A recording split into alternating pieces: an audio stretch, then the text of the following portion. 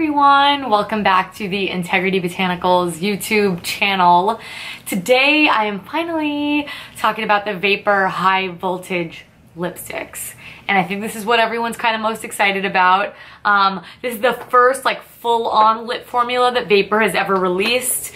Um, they do have lip nectars, which are more like the sheer option, which I think I'm actually going to review next because I like the idea of reviewing that in the same week so you can kind of get your more natural option. And these are full-on high voltage lipsticks as the name would suggest. So they are $35 a piece quite the luxury price point. But I think if you find a shade that you will wear routinely, the formulation is beautiful. So like I said, they come in both satin and matte finishes. They are cruelty-free items as well. And we have how many? Two, four, six, eight, ten, twelve beautiful shades to share with you. So I'm going to be lip swatching as always. I will definitely have a photo down below as well of all the colors so you can check them out. Um, and I just really, really am pumped about the shades, but we'll get into that as I start swatching them. So let's start with the shade Bare. Bare is one of their satin finishes, and this is a uh, they describe it as a sheer nude. I would not call it any of these lipsticks sheer. They're all really nice, full coverage with just like a one, two, three swipe. What I like about these is that the formula isn't overly dry despite the more matte finishes of them. They are all very opaque and even, even the deeper shades. And they're very comfortable to wear as well. So they have that velvety kind of finish. Mind you, this is a satin formulation. The satins are uh, a little bit creamier as you would imagine. So they glide on even more easily. But both the formulations are really nice and this is a really beautiful, more mid-toned, um, peachy nude that I think would look good on a lot of people. Next up we have the shade Chemistry. Chemistry is much more fair than Bare, um, but it's still that really nice peachy tone. It almost has a little bit more pink to it. It's a little bit more vibrant on the lips. Um, comparable, but a little less warm. Um, the Bare is more of like a honey kind of nude. Then we have the shade Chere, which is a matte finish. Oh, I'm sorry, the chemistry is also a satin finish. Chere is a uh, matte finish. It's a dusty sheer pink. It is very that. Got a little mauve to it, so it's kind of more like a lilac tone um, that I think is actually a very flattering nude shade, especially when paired with a lip liner. A lot of the Kjaer Weis liners would look good with that because they're a similar kind of shade.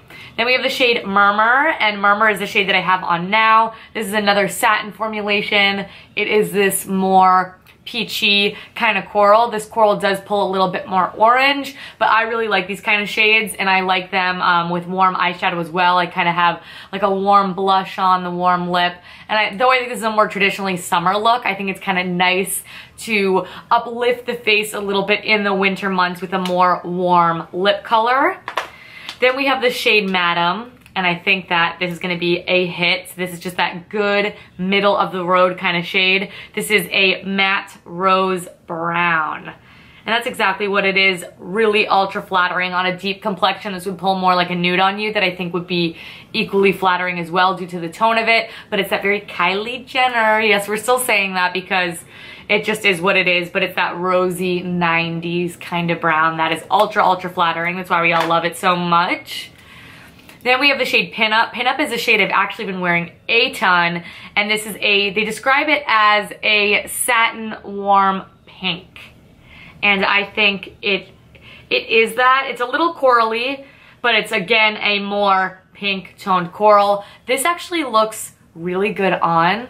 Um, I can't believe how much I've been reaching for this shade. It's not a typical shade that I would wear, but I think when you apply a lip balm on first and you can apply this more sheerly, it actually looks great on. I've really been liking to wear that one a lot. Then we have the shade Au Pair, and this is another satin formulation. This is a pinky lilac kind of shade. This is very much like an Ashley shade. This is like something I could see myself wearing every single day. I'd see a lot of you wearing every single day. I like that little touch of purple to it. I think it makes it very, very flattering, even more so than I think it already is. Then we have the shade Blaze. Blaze is probably my favorite of the more deep tones. Blaze is another matte finish and it's just this really beautiful orangey, you know, poppy sort of red, very full on and vibrant, very fall time, but this is a nice bold lip option for those of you who don't like your traditional full on red. This is a lot more orange to it. I think orange, for whatever reason, is a little bit more approachable, a little bit more wearable. Then we have the shade Adore. Adore is a satin um, finish as well. This is a little bit more red to it than Blaze. Um, also a little bit more orange. They are really similar. Blaze has that little bit more poppy tone to it. I think they look more different on the lips than they do swatch, so you guys will see that as I'm speaking about the shades. Um, but this is another really beautiful orange shade. If I wanted something a little bit more... I mean, it's a satin. The other one's matte, so there's a there's a wearability to this one, I feel like, um, even a little bit more so than Blaze. Then we have the shade Primal. Primal is another matte formulation. It's just a really classic blue tone red. Blue tone reds um, are really flattering on all skin tones.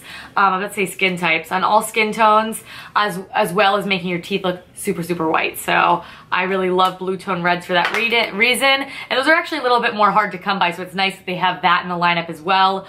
All of the deep colors, by the way, do not bleed, and they apply really, really evenly. So that was exciting to find out upon playing with all these shades.